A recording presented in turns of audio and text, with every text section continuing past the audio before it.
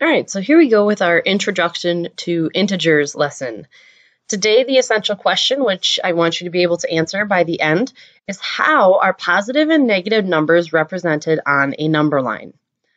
All right, so after this lesson, I will be able to identify integers, plot and identify integers on a number line, represent real world situations with integers, and identify the opposite of a given number. All right, so out of this lesson, I'm expecting you to be able to do four different things. Keep in mind that just because you're doing it in taking uh, in the video and taking the notes doesn't mean that you will be flawless at it or perfect at it at the end of this. When I talk about the lesson, I'm talking about the practice that goes with it as well. However, there are things in here you should be able to start doing them once you have completed the video lesson. All right, so just a review from your vocabulary. We have positive numbers, and positive numbers are greater than zero. And they are located to the right of zero on a number line. And positive numbers can be written with or without a plus sign. More often than not, though, you see it without the plus sign. Negative numbers, however, have a value that is less than zero. Okay, so a good example of this would be somebody who has negative $10 in their bank account. That means that they owe somebody $10. so that would be a value less than zero. And they are located to the left of the number line. Negative numbers must always be, be written with a negative sign. So there is no option if, in here. If you don't have the negative sign in front, it is considered a positive number. And then you have zero, and zero is its own special case because it is neither positive nor negative. Right? There is nothing when it comes to zero. So if you have nothing, it can't be positive, but it also can't be negative. All right, so we're going to practice graphing or plotting the numbers on a number line. In this case, we see that each of our intervals, so here goes by ones, and on the other side it goes by ones, so we know our interval is one. And we have elevations of several locations in a state park, and we're going to plot them on a number line. Now notice here that Little Butte has a letter of A underneath it. That tells me that when I put it on the number line, I want to plot it, but I also want to label it with an A. That way, when I look at the number line, I know that point represents Little Butte. All right, Little Butte has an elevation of five feet. All right, so five feet would be above zero feet. So we know that it's going to be on the positive side. So I'm going to take my A, I'm going to find five, and I plot it, and then I write the A on top. Right? But then there's Cradle Creek, and Cradle Creek has a has an elevation of negative five. Negative five being less than zero. So negative five would be to the left of zero, and it would be five spaces to the left of zero. Then you have Dinosaur Valley. Dinosaur Valley has an elevation of negative eight and a half feet. All right, so in this case, since we know that it's eight and a half, we know that it's not going to go directly on a hash mark, but it's going to go halfway between something because of that half. Now, here's the curious part. When we say eight and a half, over here, eight and a half would be to the right of the eight. However, in negative world, which is what we're working in, it's going to be to the left of eight. To help you remember this when you're plotting, think of what eight and a half is between. Regardless of if it's positive or negative, it has to be between eight and nine. So when you plot it, it has to be between eight and nine. So here, even in negative world, when I plotted it, it was between eight and nine. Mesa Ridge has an elevation of eight feet. Again, it's a positive number because it has no sign, so it's going to be to the right of zero, eight spaces. And Juniper Trail has an elevation of negative three feet. The negative tells me it's below zero, and the three tells me it's three spaces. So I can even count to double check. One, two, three. Three spaces below zero is where I would plot. Right, so as long as you take your time and look at the number line and the intervals, and the intervals being how far is it between one number to the next. So between 1 and 2 is 1. Between 2 and 3 is 1.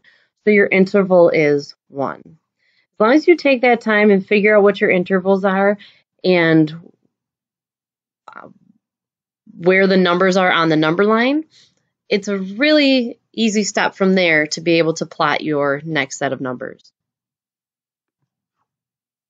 All right, so now we're going to use the problem from above. You can still see it in your notes, but I'm going to pull my information out over here just for the reminder. And we're going to take a look at B. What point on the number line would represent sea level? So I have all these different points here. I have 5, negative 5, negative 8.5, 8, and negative 3. Well, what point would be sea level? Sea level need, doesn't have a positive elevation, nor does it have a negative elevation. Well, what does that sound like? That sounds like zero. Zero is neither positive nor negative, and sea level is neither above sea level or below sea level, which is how we measure elevation. So in this case, the number that represents sea level would be zero. Which location is closest to sea level?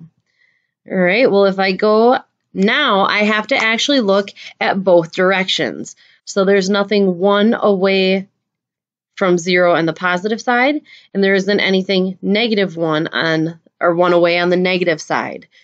Two and two are empty, positive three is empty, but negative three is plotted.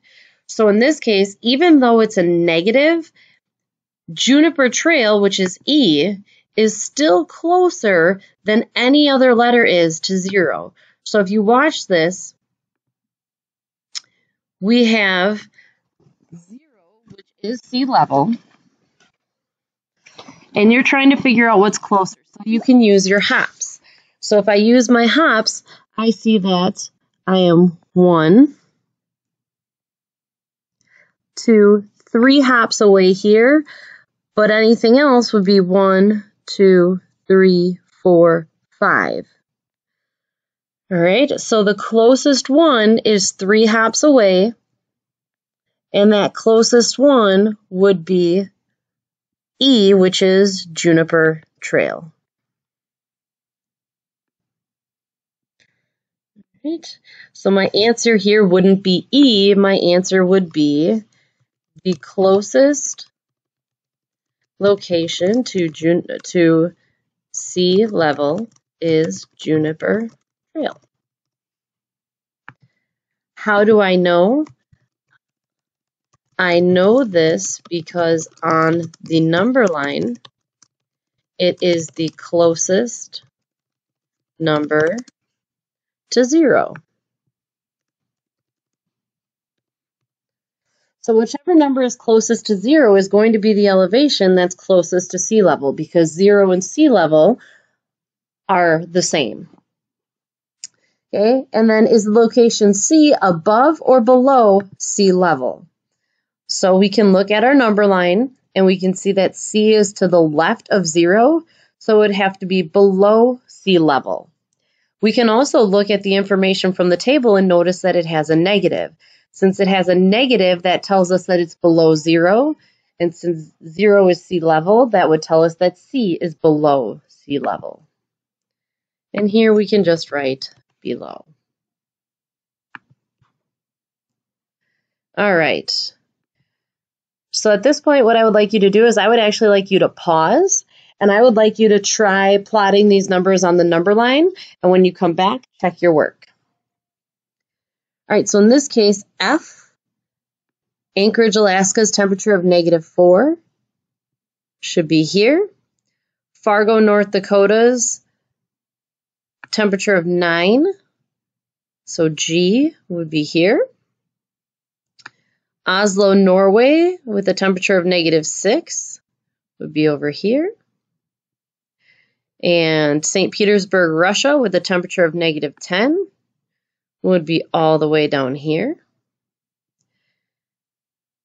Hel Helsinki, Finland, with a temperature of 7 degrees, is going to be here. And Budapest, Hungary, is going to be right here. So we didn't have to plot any halves. So notice that there are no in-betweeners here. They're all landing on a hash mark because each hash mark represents a number. And in this case, it's an interval of one. So it's easy for us to count and figure out what number it is. But now if we're going to talk about opposites, we are going to draw a number line and we're going to talk about what makes numbers opposites. In this case, we're going to talk about integers, okay, because it's asking us to um, plot integers negative 10 to 10. And I need you to remember that integers are your whole numbers and their opposites. So that's where this definition can become kind of confusing if you don't understand what opposites are. Okay, but what I really need you to understand is that integers can be positive or negative, but they cannot have decimals and they cannot have fractions. All right, so go ahead, take a minute and pause and go ahead and draw your number line. All right, to save us some time, excuse me, I am actually going to go back and I am going to steal a number line. Oops.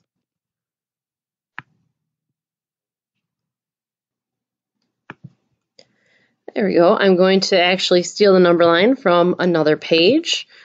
So that way you don't have to watch me draw a number line. That would be painful. All right, but when you drew it on here, using each of these boxes would be helpful so that way you know your intervals are equal. Because when you draw a number line, you don't want your numbers all over the place or to have unequal intervals. So if all of a sudden, you know, from 0 to 1 was this far, but then on my other number line, 0 to 1 was over here. Okay, so if my negative 1 was all the way back here, my number line wouldn't match up correctly. All right, so we want to make our intervals and our spacing as close as possible. All right, so now that we've drawn our number line, we are going to use the number line to find the opposites of 7, negative 4, 1, and 9. Now remember, opposites are numbers that are the same distance away from 0, but in different directions. So I'm going to go ahead and plot the 7, and I'm going to plot the 7 using a black dot. Okay, so I know 7 will be on the positive side, and it is right here. So the opposite of 7 has to be 7 away from 0 because that's how far positive 7 is away from 0, but it has to be in the other direction. So since we went this way to plot the 7, we now have to go this way to plot its opposite. All right, and we're going to count seven spaces, and we're going to count seven spaces to the left. All right, so here I have one, two, three, four, five, six, seven.